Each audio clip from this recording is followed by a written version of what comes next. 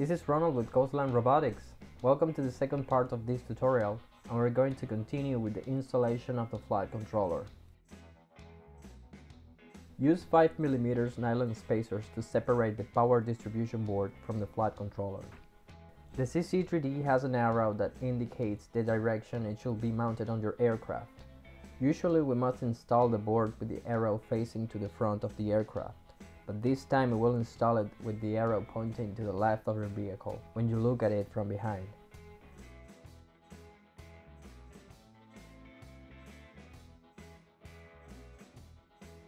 Use M3 nylon nuts to fix the board.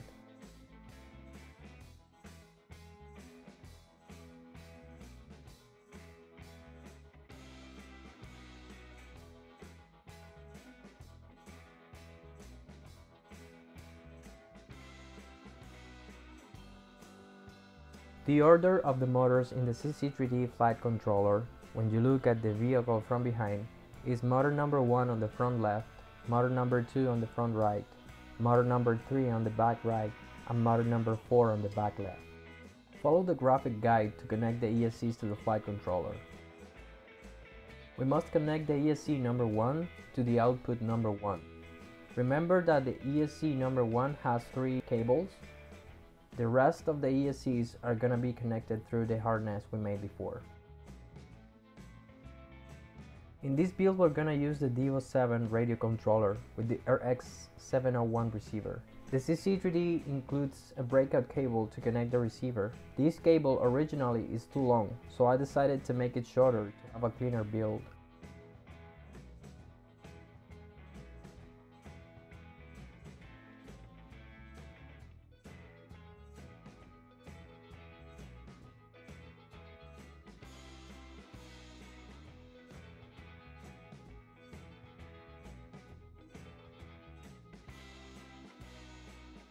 Connect the breakout cable to the receiver port on the CC3D.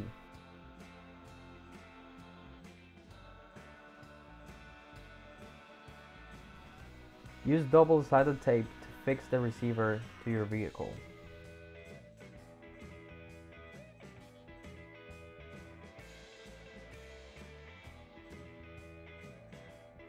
The motors on the CC3D flight controller must follow a specific order of rotation. Motor number 1 and 3 must spin clockwise. Motors 2 and 4 must rotate counterclockwise. In this case, the motors with black top are clockwise motors. The motors with silver top are counterclockwise motors. Install the motors with the screws provided.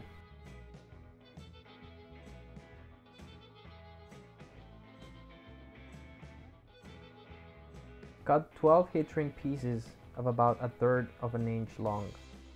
Connect and solder the central cable of all ESCs initially. Do the same procedure with all four ESCs.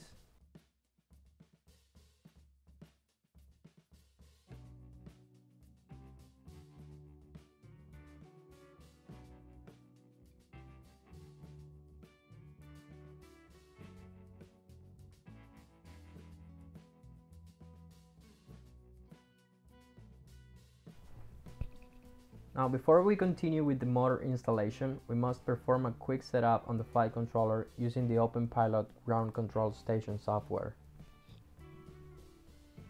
Once we open the software, we must connect the board to the computer using a mini USB cable. Wait until the board reboot and you shouldn't move it at all or the sensor calibration will fail. We must get a steady blinking LED. At this point we're ready.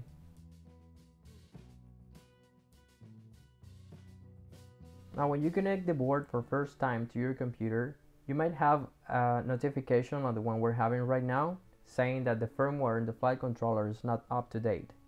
Well, we're gonna solve that problem uh, with this configuration and the most important thing is that our board is being recognized by the software so we can perform the calibration.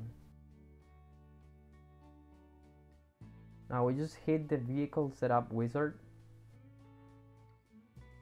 and click next. Then we're gonna hit the upgrade button and here is where we're gonna update our firmware version. This might take a few minutes, I'm just gonna speed it up. Once the upgrade process is finished, you're gonna get a message saying that the USB was not recognized. All you have to do is disconnect the board uh, to your computer and connect it again. And now we have a board with an updated firmware. You're gonna click next. I'm gonna select PWM because we're using a PWM receiver. Click next, select the multi-rotor and we're gonna select the quadcopter X configuration. We're gonna set the ESC to rapid ESC. Click next and click next again. Now we must calibrate the accelerometer and while you do this, you shouldn't move your aircraft at all. The next steps we're gonna skip them right now because our motors are not connected. So we're just gonna click next, next, next until you reach this page. Click save. And we're gonna start with the transmitter setup. You don't have to do anything on your radio. All the configuration is gonna be done through the ground control station software. I'm going to explain the radio calibration in depth in our next episode. Right now, all you have to do is to follow the movements of the sticks on the screen with your radio so the software can map all the channels automatically. You will also have the option to assign an, a couple of auxiliary switches to perform functions like toggling between flight modes or activate an alarm to find your quad in case you lost it.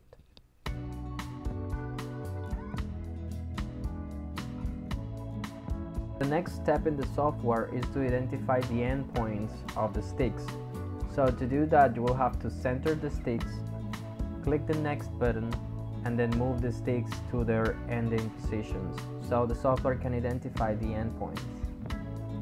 Now once the software has identified the endpoints, move the sticks to see if they are matching your movement. If they're not matching your movement, you'll have to click on the axis that is not following so it will reverse the movement.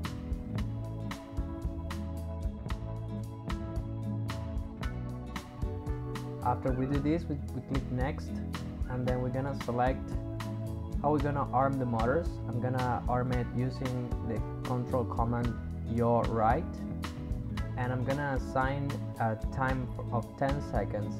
That we have done this quick calibration, you must turn on the radio transmitter and connect the battery to the flight controller. Wait until the flight controller boot.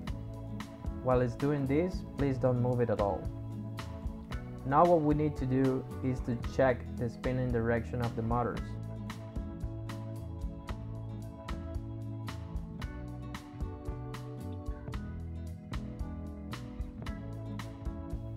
So before you solder the other two cables, arm your helicopter and pull the throttle a little bit up so you can make your motors start spinning. And if it's spinning properly, then proceed to solder.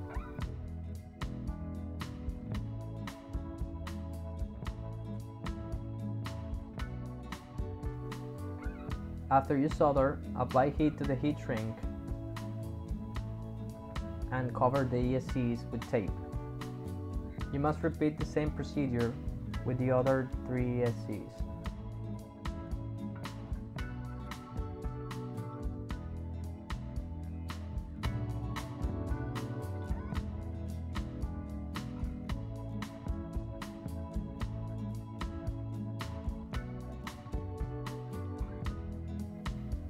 We're gonna be using zip ties to fix the LEDs to the aircraft. Don't miss the next episode where we are going to finish the build and perform a detailed calibration of the flight controller. Thanks for watching.